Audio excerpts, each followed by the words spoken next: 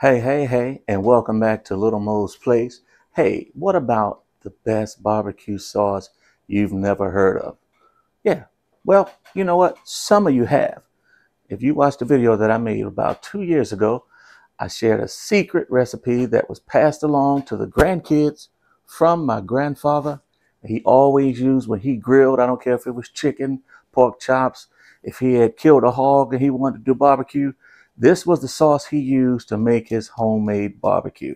And I'm going to share that with you today, once again, on Little Moz Place, the best barbecue sauce you've never heard of. Here's my ingredients.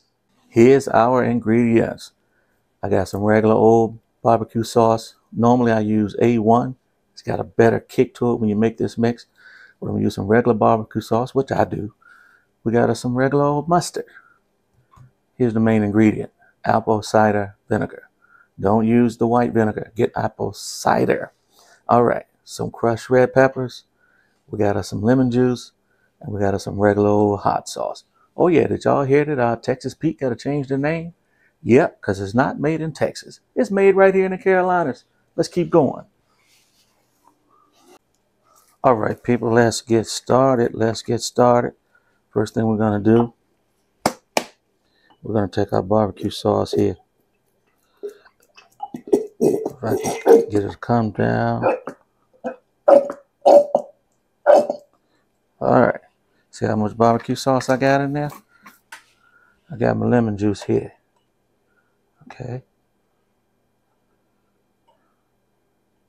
See how much lemon juice I got right there? Yep. All right, now I'm going to add me Just a little bit of mustard there. Now I got my hot sauce. See how much hot sauce I got right there? All right. Next ingredient. A red pepper. All right. Check out what I'm doing. Depends on you how hot and spicy you want it, but this kills on pork. I'm telling you now. Apple cider vinegar. And what I'm going to do with that, as you see, I'm going to bring it all the way up close to the top. Those are using mason jar. Yeah, this is how we do it. Because this is kind of sauce you want to keep around. All right. See how I got that right there? You see what you're looking at right there? Now, you just going to shake that joint up. That's your sauce right there, son. That's all only thing you need now to make that complete is that.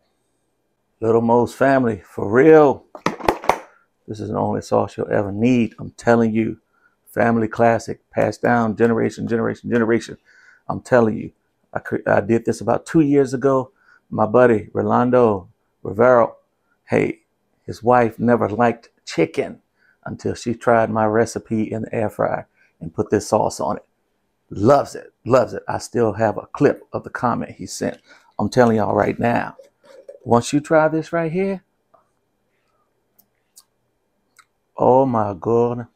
I'm not even gonna say anything else. Try it. Shoot me some comments. Tell me what you think. The best barbecue sauce you've never heard of. And you heard it right here in Little Moz place. Hey, thanks for the love. Hit the like button. Those of you don't belong to the family, go ahead and subscribe now. Peace. Have a great weekend.